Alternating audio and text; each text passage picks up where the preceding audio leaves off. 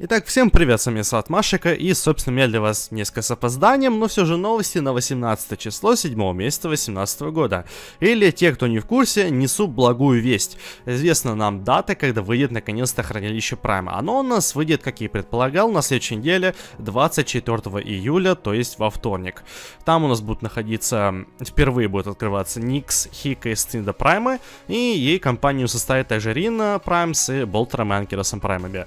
На этот раз у нас будут такие наборы. В частности, будет двойной набор, называется мозги мускул. Там будет вообще все продаваться. Как оружие, так и аксессуары, глифы и 1200 платины сверху, видимо, чтобы накрутить стоимость. Также будут продаваться отдельные наборы Никс и Рина. То есть отдельно с Никса, например, с оружием и аксессуарами. И отдельно Рина с оружием и аксессуарами. Все это будет также с глифами и 400 платки сверху вам насыпят. Впервые же отличается это хранилище тем, что можно будет купить отдельные наборы с аксессуарами. В частности, у Никсы там насыпят на 200 платины, набор брони Таргис Прайм и также дадут Вала Сугатра Прайм. Но при этом глифа туда не входит, поэтому если хотите глиф, то вам придется купить набор уже покруче. Если вы думаете Риночи покупать или нет, то у него тоже будет 200 платки, Нору Прайм Сандана и дистиллирующий экстрактор Прайм. И впервые мы будем иметь возможность купить чертежный, этот экстрактор трактор праймовский. По-моему, такого не было. Неизвестно, будет ли он многоразовый или нет, но я предположу, что да, будет многоразовый. И глиф тут также не прилагается. Цены, скорее всего, будут известны точно уже 24-го, когда эти все хранилища откроются, можно будет купить. Скорее всего, по моему предположению, может быть, будет 110 долларов набор аксессуаров. Но кто знает, может быть, разрабы нас удивят в ту или иную сторону. При этом обратить внимание люди, которые у нас на полочке, потому что сами хранилища открытия опять-таки довольно странные. То есть Америка это 24 24 июля, Европа 25, Азия 25, Япония 26.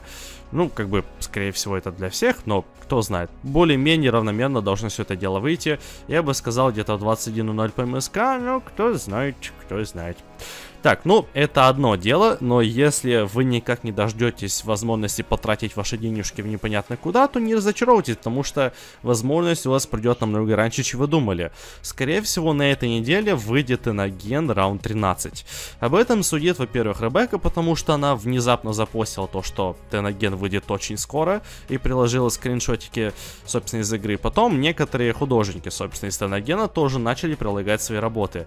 И также активность на форуме разработчиков разрабов на этот раз проявилась именно в отделе Теногена. Так что, кто знает, возможно, на этой неделе мы увидим и Теноген новый. Как вы помните, я говорил, что на этой неделе нам точно стоит ожидать то, что выйдет хотфикс вместе с перепрохождением Омбрича как минимум. И было бы логично запихать тот Теноген, пока все ждут возможности потратить денежку. Полный перечень работ на форуме, но если я правильно помню, наши друзья из Inside Russia сделали полный перевод и так далее, поэтому можете к ним тоже заглянуть в гости. Ну и, собственно, говоря про Ребекку, она интересный комментарий тоже сделала под работой Шелли. Довольно тесненькая такая работка, как оператор в зимней куртке. Пальтишки идет на Венере. И, собственно, Шелли написала, что было бы неплохо, если были бы такие тоноген, вернее, не тоноген, а просто костюмы операторов. И Ребекка сказала, что это обязательно, поэтому, возможно, мы увидим костюмы операторов, приспособленные для холодного климата. Что было довольно неплохо, потому что текущие костюмы меня устраивают, но не совсем.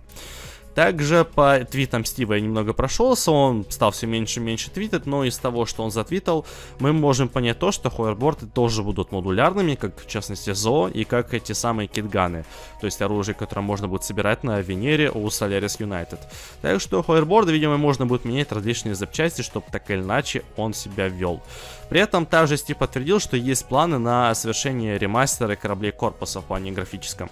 То есть, насколько вы помните, раньше Стив тоже заявлял, что все эти корабли и так далее будут заменены старые текстуры на новые, в частности материалы и так далее. Возможно, еще что-нибудь сделать, например, освещение и так далее, но в частности людям очень понравилось то, как сделали ребята на ШДЕ демку с RL Джеком, когда надо было там вторгаться на корабль, и графоний там был очень классный. Мало того, что локация была совершенно новая, так она еще отлично вписывалась.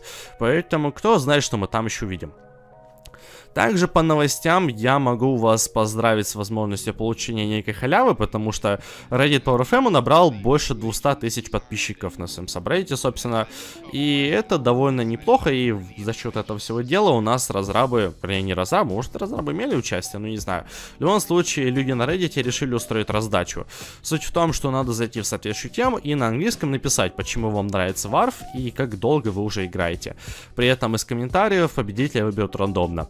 Из разыгрываемого, с, вернее, три штуки прям доступы Лимбача будут разыгрывать.